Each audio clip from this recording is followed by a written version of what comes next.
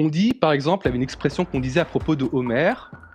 On disait Homère, c'est l'éducateur de la Grèce. Ça, c'était euh, un terme par lequel on désignait en Grèce, à l'époque déjà, on désignait Homère. Mais ça, il faut le prendre au pied de la lettre. C'est-à-dire que les petits Grecs, quand, quand ils vont à l'école, ils étudient Homère, les textes homériques, parce que dans les textes, il y a tout ce qu'il faut savoir.